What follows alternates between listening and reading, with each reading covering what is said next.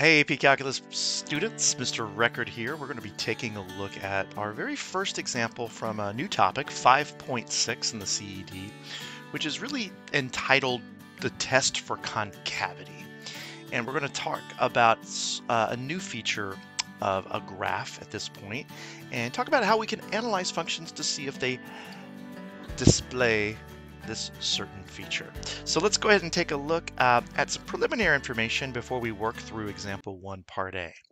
So concavity, nope, it's not something that your dentist tells you that you have with a problem with your teeth. This is just a little bit different. And I'm going to go ahead and start by displaying a very interesting graph uh, f of x equal 1 divided by x minus 1. So we have that curve sketched here. And you'll note that in the box, I jump right to it and say, hey, f of x, he's concave downward on the interval negative infinity to positive 1. And he's concave upward on the infinity 1 to 0. Now you can sometimes think about concavity as being a bowl that holds water or spills water. If we think of a bowl that's shaped like that, that's obviously a bowl that could contain water within it. But if a bowl is upside down, then it's pretty clear that that water is not going to stay there very long and it's going to spill right out.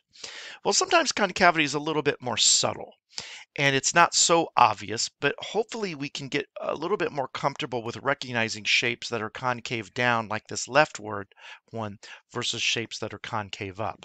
But regardless, it's not going to be good enough to state that a graph's concave up because it looks like a cup, or it's down because it looks like a frown.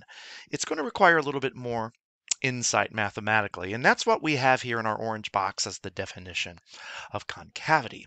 And it says, let f be differentiable on an open interval, i.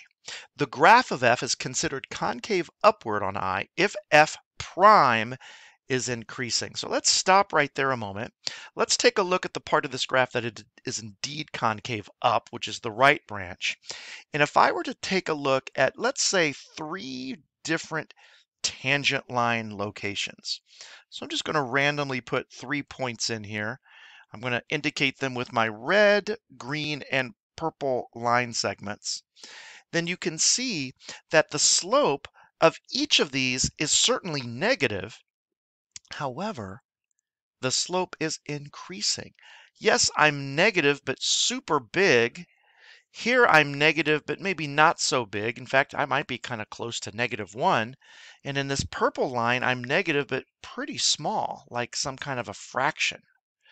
So we can say that we are definitely increasing with our f prime values. And that's a really good way to indicate concave upwardness but that can be get that can get very difficult to analyze.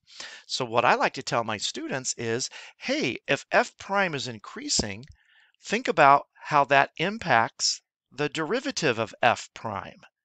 And that just simply means that the second derivative is positive. If f increases, isn't f prime positive?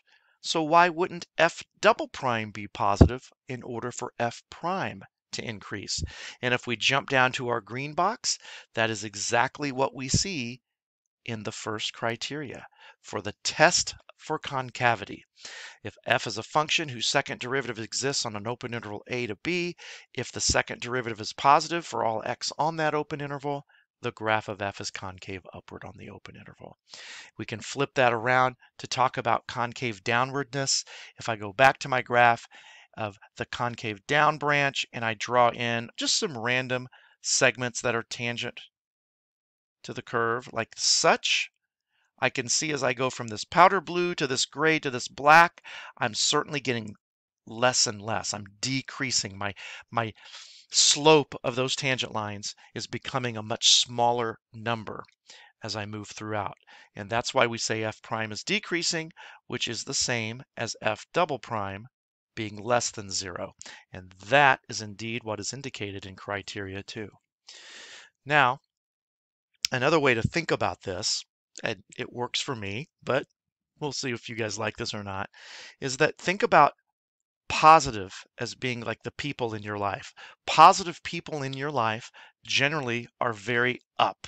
They have a kind of a optimistic viewpoint on life and their graphs look like this because they smile all the time. You're a positive person. But the negative people in our lives sometimes bring us down, right? They're kind of downers and they kind of tend to frown a lot, concave down. Maybe that'll help you remember couple of other criteria we have here, uh, which are really pretty basic and straightforward. It's possible that you've talked about points of inflection in other courses, but the idea of a point of inflection is just simply an ordered pair where a graph changes concavity. So if you have a graph that changes from concave up to concave down, something like that, then that point right there is a point of inflection.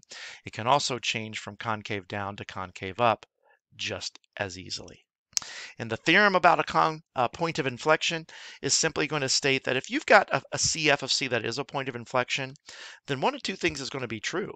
The second derivative of that value is going to be equal to zero, or that function is not going to have a derivative at that value of c. So it's very much in tune with our minimum and maximum theorem that says a point of uh, minimum or maximum has to be a critical point.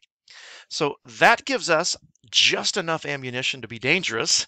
So let's go ahead and take a look at our first example here in one part A. The directions say state the open intervals on which each graph is concave upward or downward and state any points of inflection. On a difficulty scale, this one's certainly a little bit lower on the rung. I would probably classify this as a two or a three in level of difficulty. Uh, and it's simply because it's a polynomial function and therefore it doesn't really have any tricks to its derivative. So the derivative that we're going to take, f prime is going to look a little something like this, 4x cubed minus 12x squared. Now, because we're dealing with the test for concavity, that means that we are going to bypass this first derivative. Think about driving your car through a little town. We're not going to stop for gas. We're not going to stop for a Slurpee, a big gulp, or anything like that. We're just going to move right through that town to get to our other destination, which happens to be second derivativeville. We want to take the second derivative. And so when we do that, 12x squared minus 24x is what we're going to get. Now this is going to start to look familiar you're going to go through some processes that are going to remind you very much of some of the former work you've done in this unit. You're going to figure out when does that second derivative equal zero? When does that second derivative be undefined? Because after all, we've just determined that points of inflection can only happen at those two places. Now it's pretty clear that our function, our second derivative of the function can't be undefined because it's a polynomial. Now that second derivative can equal zero, and we're going to factor out a 12x to make our lives a little bit easier. It leaves us with x minus 2 equals 0, and that will give us x equals 0 and x equal 2. Now, note, technically, by definition, technically, x equals 0 and 2 are not critical numbers we don't really refer to them as such. And I've had many conversations with teachers all over the country, all over the world about whether or not this is really true. I go, what do you call the results of when your second derivative equals zero? And some say, yeah, I know. I don't call them critical points or critical numbers because really those just belong to the first derivative. So maybe they're second derivative critical values. I'm not so sure if I like that, but I could get by with it. I, I know a lot of teachers that call them potential points of inflection, and I think that's okay. But I think sometimes as teachers, we really need to be careful and stay away from calling these critical points because we don't want to confuse them with the results from the first derivative set equal to zero or undefined. Okay, so for now, I might call them potential points of inflection. So what you're going to do at this stage is go back to your idea of setting up a number line. And on this number line, you're going to know that we have 0 and 2 that lie upon it. And we know that above this number line, we could figure out what is the sign of f double prime. And then that's going to tell us what is the behavior of f. Now with that in mind, let's go ahead and test some values. Between negative infinity and zero, negative one is about as good as anything. So we're going to test that guy and we're going to make sure that we test it in the right spot we are finding the sign of f double prime, so that's where I want to go. So sometimes it's nice to highlight things. Keep in mind though, you cannot use a highlighter on the AP exam, so you want to wean yourself from doing that if you have a habit uh, as you get late into the spring semester. Let's go ahead and plug negative one in for our x. So we'd have 12 times negative 1 squared minus 24 times negative 1. So this is going to give us 12 plus 24, which is pretty clearly positive. So what is the behavior of our function on that interval? Well, it's not increasing. That would be the behavior based on the first derivative analysis.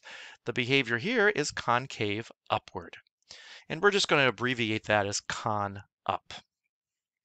Between 0 and 2, we can pick a number between. 1 is as good as any. We place 1 in the position of our x. So we'd have 12 times 1 squared minus 24 times 1. And that's going to be negative 12. I see that now. And I'm more concerned whether it's positive or negative. So negative is our result, and our behavior is con down. And so you just keep doing this over and over for as many intervals as we have. If you plug in three, this one's going to keep us a little bit occupied because we got a little larger number here. I believe that 12 times 9 is 108. Subtract 72. That's good enough for me. 36 is that result. We're going to say that we're positive in our second derivative and thus we're con up. Now, the issue that we have here is that unfortunately, a number line is typically typically not going to be scored on the AP exam. So we're going to want to write up our findings uh, a little bit more with a narrative. And it says, first of all, determine the open intervals on which the graph is con up or con down. So we'll say that, okay, f of x is con up. We'll start with that. Doesn't matter which.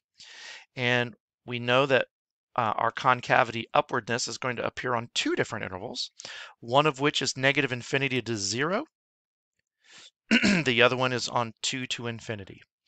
I would prefer that my students use open interval notation uh, when you define your intervals of concavity. Um, I tend to like to use closed interval notation for increasing and decreasing. Uh, the College Board doesn't really get in the middle of that fight and they'll accept either notation on those increasing, decreasing intervals. Uh, let's stick with these open intervals for the course of our video series on concavity though. And we know that this concavity is going to exist on these intervals because, well, it's because our second derivative turns out to be positive on and then you can either list the intervals again by name. Maybe I can just refer to them as those intervals. I think that's pretty clear in this particular problem. Now we'll do the same thing when we mention f of x being concave downward. We'll abbreviate con down. It turns out that there's only one interval of concavity that's downward, and that's on the open interval 0 to 2. And the reasoning is because f double prime of x is less than zero on that interval. And I tell you what, it's probably quicker just to list the interval by name than to write the words that interval. We have to finish up by asking or stating where is the point of inflection. You can always abbreviate points of inflection with the uh, acronym POI. It's done all the time on the AP exam, and we'll state where those occur. Those are going to be locations. I'm not concerned about you giving me the ordered pair, so we can just simply say at x equals 0 and x equal 2.